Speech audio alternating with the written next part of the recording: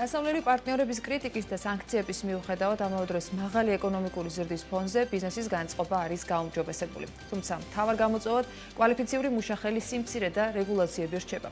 ეს ბიზნეს ასოციაციის ორგანიზებით გამართულ კონფერენციაზე აღინიშნა, სადაც BHG-ის ახალი ინდექსი წარმოადგინეს.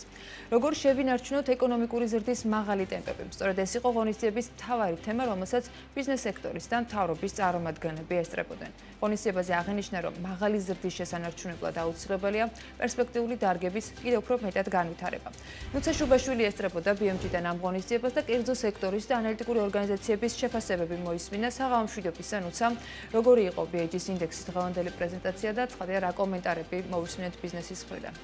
ანა მოგესალმები დღევანდელ ღონისძიებაზე საქართველოს ბიზნეს ასოციაციამ 2024 წლის მესამე კვარტლის BAG ინდექსის კვლევის შედეგები წარადგინა, რომელიც ბიზნესის განწყობას და მოლოდინებს ასახავს. კვლევის მიხედვით ქვეყანაში არსებული მაღალი ეკონომიკური ზრდის ფონზე ბიზნესის მოლოდინები გაუმჯობესებულია, რაც როგორც ბიზნეს ასოციაციაში აღნიშნავენ, კომპანიებს აძლევს სტიმულს წარმოება გააფართოვონ. თუმცა დღევანდელ ღონისძიებაზე აღნიშნა, რომ ბიზნესისთვის მთავარ გამოწვევად და შემოფერხებელ ფაქტორებად რჩება კვალიფიციური კადრების სიმცირე და სხვადასხვა მიმართულებით დაწესებული რეგულაციები.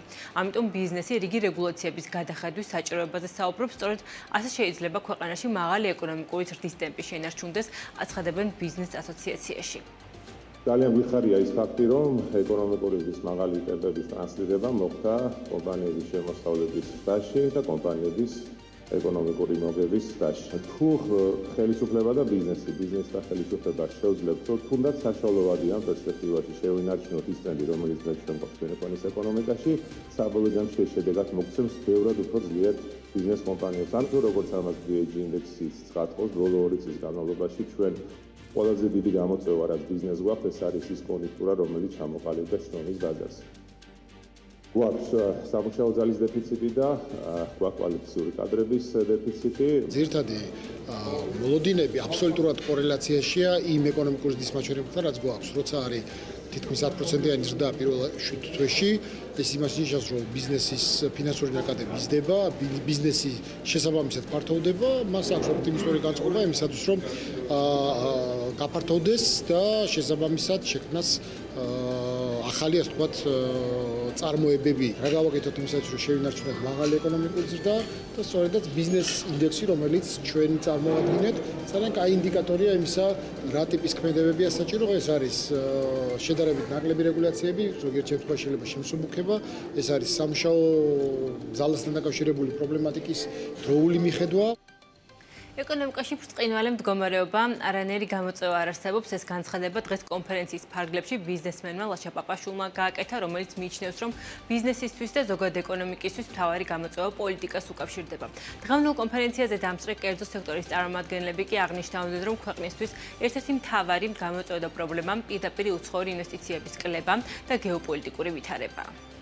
ხა ბრწყინვალე მდგომარეობა. არა თითქმის არ არსებობს. არანაირი გამოწვევა არ არის. 90 ესე 9.7%-იანი ზრდა გვაქვს ეკონომიკის. თუ არ ჩამოვშლით ამას, პოლიტიკურის გარდა არაფერი გამოწვევა არ არის. ამ ზრდას ზარდია და გავიზრდებით კიდევ პროგნოზირებენ დიდ ზრდას. ბიზნეს ასოციაციამ წარმოადგინა კვლევა ბიზნესის განწყობასთან დაკავშირებით, რომელიც არის პოზიტიური ყველა მიმართულებით. რჩება გამოწვევები, რაც არის ზირითადად ეს არის დასაქმებასთან დაკავშირებული შრომის ბაზარი არის, ისეთ რომ ხელმისაწვდომობა სპეციალისტებზე და ზოგადად კადრებზე არის ძალიან დაბალი. მეორე ხის ჩვენ ნახეთ ახლა სწორედ მიმდინარეობდა პრეზენტაცია იმასთან დაკავშირებით, როგორ არის სექტორების მიხედვით რა ხდება. შემცირება იყო, ეს იყო მაისის თვე იყო ისეთი შემცირება სადაც იყო, სხვა სხვა მხრივ არის გაზდა.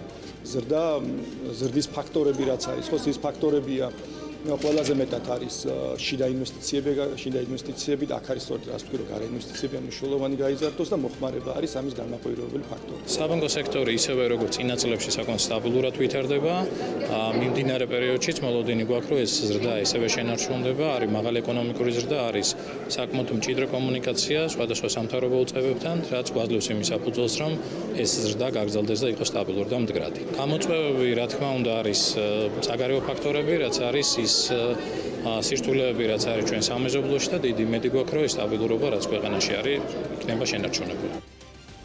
დღევანდელ კონფერენციაზე გალთენ ტაგარტმა მაკროეკონომიკური მიმოხილვა და სექტორული კვლევებით წარადგინა, როგორც საინვესტიციო ბანკში აღნიშნავენ, მიმდიდარე წლის 7 თვეში მოსაოდნელზე მაღალი 9.7%-იანი ზრდის ფონზე ორგანიზაციამ მიმდიდარე წლისთვის ეკონომიკური ზრდის პროგნოზი 8%-მდე გაზარდა, როგორ უნდა შენარჩუნდეს მაღალი ეკონომიკური ზრდის ტემპი. ორგანიზაციაში მიაჩნიათ, რომ ამისთვის ერთ-ერთი მთავარი წინაპირობა ისეთი პერსპექტიული დარგების მეტად ათვისება, როგორიცაა მაგალითად ლოგისტიკა და IT სექტორი. რაც შეეხება საქართველოსთვის ისეთ მნიშვნელოვან სექტორს, როგორიცაა ტურიზმი, შეხვედრაზე აღინიშნა, რომ მართალია ვიზიტორების რაოდენობა აღდგა, თუმცა მიმართულებით ახალი ბაზრების უკეთ ათვისება აუცილებელია. 2021 წლიდან აღსანიშნავია ახალი მომსახურების დარგების დომინანტური კონტრიბუცია ზრდაში. ეს არის ინფორმაცია და კომუნიკაცია, ეს არის ტრანსპორტი და ლოჯისტიკა და ეს არის განათლების სექტორი. ამავდროულად იზრდება ასევე ტრადიციული დარგებიც, როგორც არის ვაჭრობა, მშენებლობა, ტურიზმი და სხვა. მაგრამ ჩვენ ვფიქრობთ, რომ მაღალი ეკონომიკური სისტემები რომ შევინარჩუნოთ, საჭიროა ამ ახალ დარგებში ეს პოტენციალი რაც არსებობს არსებობს ამ პოტენციალის გაფართოება მოხდეს, რაც ვფიქრობთ, რომ მომავალშიც მაღალი ეკონომიკური სისტემების შენარჩუნებას შეუწყობს ხელს. ტურიზმის სექტორზე შეიძლება ითქვას, რომ ტურისტების რაოდენობა სრულად აღდგა პირველ ნახევარში, თუმცა მეორე კვარტალი შედარებით სუსტი იყო, იმიტომ რომ შემცირდა ნაკადები ევროკავშირიდან, თუმცა ნუ საბოლოო ჯამში მაინც შეიძლება ითქვას, რომ ახალი ათვლის წერტილი გვაქვს ტურიზმის სექტორში 2024 წელი. ძალიან კარგი იყო ზრდა ახლო აღმოსავლეთიდან, ცენტრალური აზიიდან, ჩინეთიდან ჩინეთიდან და ინდოეთიდან და რეალურად ეს დინამიკა აისახა სასტუმროების პარამეტრებში. ასევე ვისაუბრეთ დივერსიფიკაციის კიდევ უფრო დამატებით საჭიროებაზე. უბრალოდ გავამოხვილეთ განსაკუთრებით ინდოეთის ბაზარზე, რომელიც ერთ-ერთი ყველაზე მზარდი მიმართულებაა და 2027 წელს მეხუთე ყველაზე დიდი გამყვანი ტურისტული ქვეყანა იქნება. შესაბამისად, აი ამ ქვეყანასთან საჰაერო კავშირი და ზოგადად მეტი ცნობადობა ჩვენი ინდოეთში, ვფიქრობთ, რომ ძალიან საინტერესო ეფექტების მომტანი იქნება ჩვენი ტურიზმის სექტორისთვის. დღევანდელ კონფერენციას პრემიერ-მინისტრი და მთავრობის ეკონომიკური ბლოკის წევრებიც ესწრებოდნენ, რომელსაც მედიასთან კომენტარი არ გაუკეთებიათ, თუმცა როგორც ღონისძიებაზე სიტყვით გამოსულთა სირეკლი ყობახიძე მაგნიშნა მთავრობა ნებისმიერ დროს მზადაა ბიზნესთან ურთიერთობისთვის. ჩვენთვის რა თქმა უნდა ძალიან მნიშვნელოვანია კომუნიკაცია ხელისუფლებასა და ბიზნესს შორის იმისათვის, რომ ყოველ ჯერზე მიიღოთ მაქსიმალურად კარგად გააზრებული და სწორი გადაწყვეტილებები, რაც შეუწყობს ქვეყანაში ეკონომიკის შემდგომ განვითარებას და ბიზნესის შემდგომ განვითარებას. რა თქმა უნდა, ეკონომიკის განვითარება, ბიზნესის განვითარება ეს არის საუკეთესო.